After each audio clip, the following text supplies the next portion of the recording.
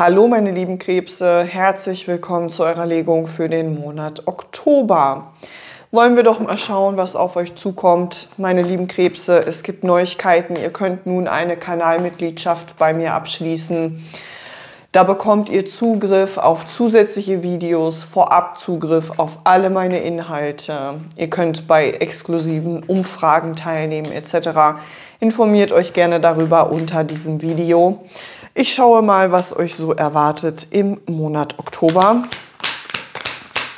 Für die Krebse im Monat Oktober, was haben wir hier? Wir haben den Pagen der Schwerter. Wir haben den Ritter der Münzen. Wir haben die drei der Schwerter. Wir haben die sieben der Schwerter und den Narren. Okay, meine lieben Krebse, ich habe das Gefühl, dass es für euch darum geht, etwas nochmal zu reflektieren, über etwas nochmal nachzudenken. Es wird Zeit dafür, so fühlt es sich für mich an. Ne? Also es wird Zeit dafür, irgendwas nochmal zu durchdenken, vielleicht auch auf eine Art kritisch zu hinterfragen, sich selbst zu reflektieren, ähm, andere Dinge, Umstände zu reflektieren. Also es geht darum, nochmal darüber nachzudenken.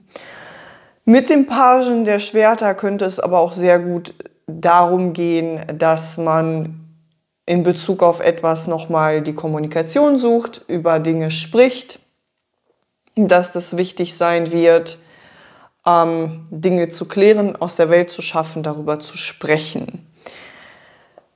So oder so, ob du nun ähm, das Gespräch suchst oder irgendeine Sache aussprichst, es wird wichtig sein, ob du das nun tust oder nicht, zu reflektieren oder über irgendwas nochmal nachzudenken. Ja, also vielleicht auch kritisch zu hinterfragen und etwas zu reflektieren. Ich sehe, dass sich hier eine Sache so ein bisschen zieht. Also irgendwas dauert lange. Entweder wartest du schon länger auf ähm, ein Gespräch, eine Auseinandersetzung, ein Ereignis, irgendetwas, was geschehen soll. Aber ich sehe, dass das schon sehr lange dauert oder dass du lange darauf wartest oder dass dieser Prozess nur sehr langsam vonstatten geht. Ja, also hier ist Geduld gefragt. Es geht irgendwie darum, noch abzuwarten, die Dinge reifen zu lassen in einer Form, geduldig zu sein. Ja, Geduld ist hier ein ganz, ganz wichtiger Faktor. Irgendwas braucht vielleicht auch Zeit, um sich zu stabilisieren oder zu wachsen. Ja, heranzureifen. Langsam machen, geduldig sein. Ja, ähm, hier geht es um Stabilität. Das kann aber auch Langeweile sein. Ja, also es kann wirklich genau das Wort sein, Langeweile, irgendwas, was lange dauert. Irgendetwas ist langweilig, weil es sich lange nicht verändert hat, weil es schon lange so ist. Der Ritter der Münzen, das ist jetzt eine spezielle Nachricht, könnte eine Person in deinem Leben sein, die vielleicht diese Anteile verkörpert, die vielleicht ein bisschen langsamer ist, ein bisschen bedächtiger, vorsichtiger ist. Hm, das könnte der Fall sein. Hm, ich sehe tatsächlich, dass irgendeine Sache hier nicht so gut läuft. Ja, die drei der Schwerter sind hier, ich habe die sieben der Schwerter hier, der Page der Schwerter am Anfang. Also irgendeine Sache entwickelt sich nicht so erfreulich. Es gibt eine Enttäuschung, es gibt vielleicht eine Absage in Bezug auf etwas, ähm, Zurückweisung, Vielleicht ist es noch nicht das richtige Timing für etwas.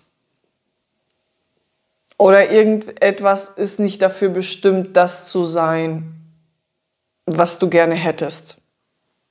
Ja, oder was du dir von dieser Sache oder Person oder Situation erhoffst. Hier sind irgendwelche geplatzten Hoffnungen, irgendwas entwickelt sich nicht so gut. Das soll dich jetzt aber nicht ähm, entmutigen, weil ich hier nämlich auch eine sehr erfreuliche Nachricht habe. Also erstmal zu den sieben der Schwertern. Hier gibt es etwas, ähm, eine Sache, der man sich nicht stellt, der man aus dem Weg geht, die man aufschiebt, mit der man sich nicht auseinandersetzt oder die man vielleicht auch auf die lange Bank schiebt. Entweder willst du dich hier mit einem Projekt oder einer Sache nicht weiter auseinandersetzen oder du schiebst sie unnötig auf die lange Bank. Vielleicht geht es hier aber auch um eine Klärung, um ähm, irgendetwas wie ein Gespräch zum Beispiel. Du schiebst das schon sehr lange auf. Also das wirkt ein bisschen so, als würde man der Sache aus dem Weg gehen und sich der Sache nicht so wirklich stellen wollen. Ja. Ich sehe aber auch, dass hier mit dem Narren etwas Neues reinkommt. Also, dass ein Neuanfang möglich ist, beziehungsweise dass Leichtigkeit möglich ist. Also, wenn in dieser Angelegenheit wenn das so eine gewisse Schwere bekommen hat und das, diese Leichtigkeit verloren gegangen ist, dann sehe ich, hier kommt Leichtigkeit zurück. Vielleicht hat das mit dieser Situation in dem Sinne nicht wirklich was zu tun, sondern zeigt hier vielleicht einfach nur an, dass diese Sache nun zu einem Ende kommt und du nun ähm, einen Neuanfang wagen kannst. Das kann zum Beispiel in einer ganz bestimmten Situation der Fall sein, dass du da sagen kannst, jetzt kann ich neu anfangen ähm, das kann aber auch vielleicht ein Neustart oder ein Neuanfang mit dieser Situation sein. Ja, also dass du mh, mm, hier nochmal über irgendwas nachdenkst, reflektierst und erkennst, okay, das ist nicht so gut gelaufen, das dauert hier vielleicht schon sehr lange oder es gab hier Enttäuschungen, aber jetzt reicht es mit dem Aufschieben, mit dem Davonlaufen, jetzt ähm, möchte ich hier einen Neuanfang wagen oder ich will es nochmal neu probieren. Ich will nochmal neu drauf zugehen, auf diese Sache. Ja, irgendwie anders vielleicht auch an die Sache rangehen, ein bisschen mehr mit Leichtigkeit. Das wäre sehr gut möglich. Ich werde jetzt noch ein paar Orakelkarten ziehen, um das Ganze noch ein bisschen deutlicher zu bekommen. Für die Krebse im Oktober, was haben wir hier? She Who Loved Ones. Hier geht es um eine vergangene Liebe, eine vergangene Freundschaft, eine vergangene Situation, die dir sehr am Herzen lag. Ne? Sie, die einst liebte, das war dir mal sehr wichtig, das lag dir mal sehr am Herzen. Das kann eine Person sein ähm, im romantischen Bereich, ein Ex-Partner, Ex-Partnerin, ähm, eine alte Freundschaft, eine alte Bekanntschaft. Das kann aber auch ein altes Projekt sein, eine alte Arbeitsstelle, irgendetwas oder ein altes Hobby sogar. Ja, also irgendetwas, was dir super am Herzen lag in der Vergangenheit. Und es geht jetzt irgendwie in einer Form darum, neu anzufangen oder einen Neuanfang zu wagen. Allerdings mit den sieben der Schwertern könnte das so ein bisschen so ein Eiertanz sein. Also, dass man nicht wirklich dazu kommt, ja, sondern dass man vielleicht darüber nachdenkt, es aber nicht wirklich durchzieht. Ja, weil da vielleicht äh, Ängste sind, man, man will sich der Sache nicht stellen, aus welchem Grund auch immer. Ja, vielleicht hat man Angst, wieder enttäuscht zu werden oder man fühlt sich schlecht. Und ähm, schiebt es dann vielleicht so ein bisschen vor sich her. Schauen wir weiter. Was haben wir hier noch für die Krebse im Monat Oktober? Look closer, she's not lonely. Okay, also, falls du dich einsam fühlst oder das Gefühl hast, alleine zu sein, könnte das hier ein Hinweis für dich sein, dass du nicht alleine bist, dass du Menschen in deinem Umfeld hast, die für dich da sind, die an deiner Seite sind. Hier geht es aber auch um den Aspekt zum Beispiel Tiere. Vielleicht hast du ein Haustier oder vielleicht schaffst du dir ein Haustier an. Ja, das könnte hier etwas sein, also dass du dich vielleicht nicht so alleine fühlst. Ja, und das ist gar nicht mal so zu unterschätzen. Also diese Sache mit äh, dieses, ich sage mal, dieses Stereotyp, was man gerne benutzt, äh, dass man als Frau irgendwann alleine mit zehn Katzen endet Ähm, das können auch eine Form von ähm, Seelenpartner sein, Seelenverbindungen sein. Ja, so, so nicht, nicht Seelenpartner, ähm, sondern wie sagt man das? Ähm, ja, doch irgendwie sowas wie Soulmates oder man kann auch eine seelische Verbindung zu Tieren haben. Ja, das kann auch manchmal sehr schicksalhaft sein, dass man das Gefühl hat, man war irgendwie, man, man kennt sich aus einem alten Leben. Das ist total irre. Also jeder, der schon mal Tiere hatte oder hat, weiß, was ich meine. Ähm, da kann eine sehr, sehr starke Verbindung auch sein zu Tieren. Genau, also ich glaube, das ist einfach hier, hier steht nichts Neues.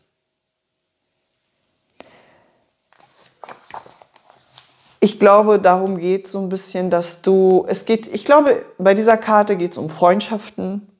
Ich glaube, bei dieser Karte geht es darum zu erkennen, dass man nicht alleine ist. Also vielleicht ist das auch so ein Ding, dass du dich in diesem Monat alleine fühlst und dass du dich fragst, ähm, in Bezug auf deine alten Bekanntschaften, alte Freundschaften, Ex-Partner, dass du da, sage ich mal, so ein bisschen dich dahin zurückversetzt fühlst. Vielleicht hast du den Impuls, ähm, wieder Kontakt zu bestimmten Personen aufzunehmen.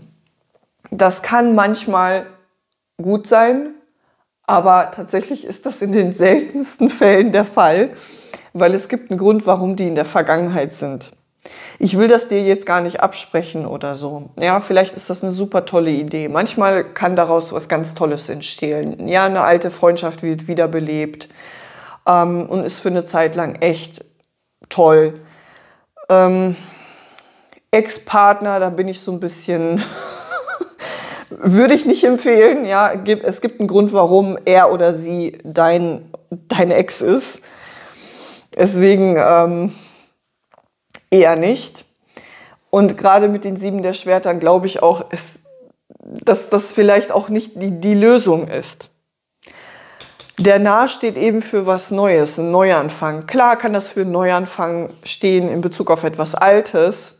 Es kann aber auch bedeuten, dass etwas Neues auf dich wartet. Also, dass gesagt wird, hey, okay, entweder bekommt das Alte eine neue Form, aber wahrscheinlicher ist es, dass das Alte das Alte bleibt und du einfach neue Personen, neue Situationen in dein Leben ziehen wirst. Ja, du bist nicht alleine. Manchmal neigen wir dazu in Situationen, wo wir uns alleine fühlen und einsam fühlen, besonders die Singles, dass man dann anfängt, bei den Ex-Partnern rumzugraben oder irgendwelche Ex-Dates oder was auch immer und äh, anfängt zu vergleichen und denkt, oh, der oder die war doch gar nicht so schlimm und bla bla bla und hast du nicht gesehen. Aber das ist, ähm, ich glaube, das ist irgendwie so ein psychologischer Trick in uns, der da stattfindet. Das passiert gar nicht mal so selten, weil es einfacher ist, in so einer Situation, wenn man sich alleine fühlt, auf das Altbekannte zurückzugreifen, als sich für was Neues zu öffnen. Ja, und dann kommen solche Situationen zustande. Aber wie gesagt, ich bleibe dabei. Es gibt einen Grund, warum er oder sie deine Ex ist oder warum man nicht mehr miteinander befreundet ist oder warum man keinen Kontakt mehr hat oder was auch immer. Es gibt einen Grund. Aber das kannst du reflektieren, darüber kannst du nachdenken, was auch immer das hier ist. Ja, ich werde jetzt ein paar Würfel legen für dich für den Monat Oktober.